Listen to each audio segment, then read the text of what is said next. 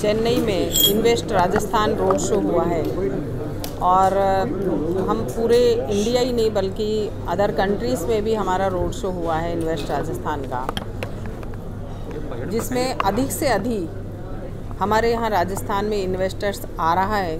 और वो किस लिए आ रहे हैं? कि राजस्थान के मुख्यमंत्री सम्माननीय अशोक गहलोत जी की जो निवेशकों के लिए उद्यमियों के लिए जो नीति नियम और जो निदेशालय बनाए गए हैं, उन सुख सुविधाओं को देख करके हमारे राजस्थान की ओर निवेशक आ रहे हैं। आज के रोड शो में सम्माननीय राजस्थान के सरकार में कैबिनेट मंत्री प्रताप सिंह जी खाचरियावास यहाँ पर विराजमान हैं और धीरज श्रीवास्तव जी हैं और सभी मंचासीन हमारे अधिकारीगण हैं। सभी का बहुत सहयोग रहा है कि हमारे अधिकारीगण ने किस तरीके से चेयरमैन हो, चाहे, और डायरेक्टर हों सभी इन्वेस्टर्स को सारे नीति और नियम बता करके उनको जानकारी दे करके राजस्थान की ओर आकर्षित किया है। राजस्थान भौगोलिक और प्राकृतिक दृष्टि से और बहुत ही सौंदर्यकरण की दृष्टि से बहुत अच्छा प्रदेश है। चाहे रेतीले धोरे हों, चाहे नदियाँ हों, चाहे पहाड़ हों, और शुद्ध वातावरण है वहाँ पर। शुद्ध वातावरण होने के कारण और जो भी सरकार की जो नीति है, प्रशासन सुव्यवस्थित है, सारा प्रबंधन अच्छा है राजस्थान सरकार का जो इन्वेस्टर्स को जो सुविधाएँ चाहिए, चाहे पानी की हो, चाहे बिजली की हो, चाहे रोड की हो, वो सारी सुविधाएँ वहाँ पर राजस्थान में अवेलेबल हो रही हैं। राजस्थान सरकार की जो 2019 की जो नीति है चाहे रिप्स की नीति है, जिसमें कि तीन वर्ष तक इन्वेस्टर से जो उद्यमी, जो उद्योग लगाएगा, उससे किसी तरीके का निरीक्षण, कोई जाँच और इस तरीके की उसको कोई परेशानी नहीं होगी, वो अपना उद्योग धंधा वहाँ पर स्थापित कर सकता है। दूसरा है वन स्टॉप शॉप जिससे कि आपको एक ही छत के नीचे सभी विभागों की सुविधाएँ अवेलेबल हो जाएँगी, आपको अलग अलग किसी ऑफिसों में जाने की ज़रूरत नहीं पड़ेगी।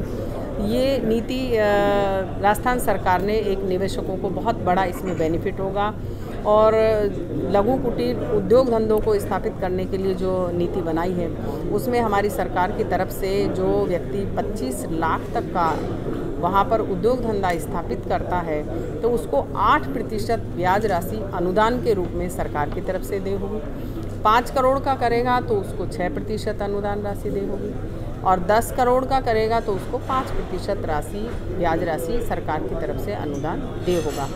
राजस्थान सरकार की जो निदेशालय है, अभी बना है नया हस्तशिल्प करदा हस्तकरदा के लिए निदेशालय बनाया गया, जो हमारे राजस्थान के पारंपरिक उद्योग धंधे हैं, चाहे रंगाई का है, छपाई का है, कढ़ाई का है, कोटा डोरिया है, भीलवाड़ा टेक्सटाइल्स है, बगरू प्रिंट का है, जो जयपुर में स्थापित है तो उन धंधों को और प्रोत्साहन देने के लिए ये नीति हमारे यहाँ बनाई गई है राजस्थान सरकार की ओर से। मुख्यमंत्री महोदय का जो विजन है, जो सोच है कि राजस्थान के युवा और महिलाओं को सभी को रोज़गार मिले, आत्मनिर्भर बने, इसलिए ज़्यादा से ज़्यादा इन्वेस्टर्स हमारे राजस्थान में आए और जो सुविधाएँ वहाँ दी जा रही हैं उद्यमियों को, चाहे आप किसी भी हमारे ज़िले को उठा करके देखें तो चाहे अलवर ज़िला हो, जहाँ टप्पुकड़ा खुशखेड़ा, नीमराना भिवाड़ी में है। तो नीमराना में जो जापानी जोन बनाया गया है, वहाँ पर उन्हें सारी सुविधाएँ अवेलेबल हैं। इसीलिए वो जोन और स्मार्ट सिटी बनाने का, जैसी हमारी योजनाएँ हैं। राजस्थान सरकार की बहुत ही सराहनीय है। इससे इन्वेस्टर्स राजस्थान की ओर अधिक से अधिक आकर्षित हो रहा है। आज हम चेन्नई में आए, हमें हर स्टेट में अच्छा रेस्पॉन्स मिला है। मुंबई में जैसे दो लाख के हमें एमओयू साइन हुए हैं और आज यहाँ थर्टी सेवन हज़ार करोड़ के एमओयू साइन हुए और आगे आ रहे हैं। इच्छा ज़ाहिर कर रहे हैं कि शायद और भी आगे बढ़ेंगे। तो राजस्थान की ओर आकर्षित हो रहा है इन्वेस्टर्स ये बहुत ही सराहनीय है राजस्थान में इच्छा ज़ाहिर कर रहे हैं कि हम वहाँ पर सारी सुविधाएँ अवेलेबल हो रही हैं इसलिए। तो बहुत अच्छा रेस्पॉन्स मिल रहा है। आज चेन्नई का भी अच्छा रहा। आप सभी चेन्नई वासी मीडिया कर्मियों को और सभी उद्यमियों को मेरी तरफ़ से बहुत बहुत धन्यवाद, आभार, शुभकामनाएँ।